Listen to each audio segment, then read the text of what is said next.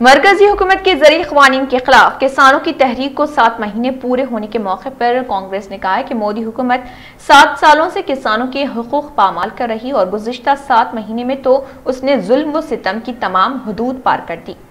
कांग्रेस के तर्जुमान रणदीप सिंह सरजेवाला ने एक प्रेस जारी करते हुए बताया कि दुनिया के किसी भी मुल्क में आज तक बेरहम हुकूमत का इतना जुल्म व सितम नहीं देखा गया जितना मोदी हुकूमत की तरफ़ से गुजशत सात महीनों में अन्नदाता किसानों के साथ लगातार किया जा रहा।